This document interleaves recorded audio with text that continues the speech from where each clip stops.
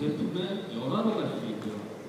어느 시점을 고장으로 잡을 거냐, 과연 개량형이나 개정 특성에서 고장 판단 기준을 어디로 할 것이냐에 따라서 분명히 그 수명은 크게 좌우를 하게 됩니다.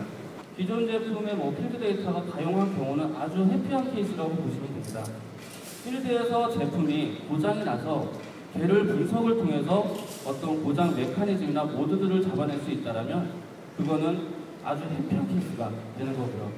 만약에 기존 정보가 없다면 아이템에 대한 어떤 수명 주기 중에 예상되는 단계를 정의를 하고 이것들이 신뢰성에 미칠 것으로 그 예상되는 인자들을 찾아내야 됩니다.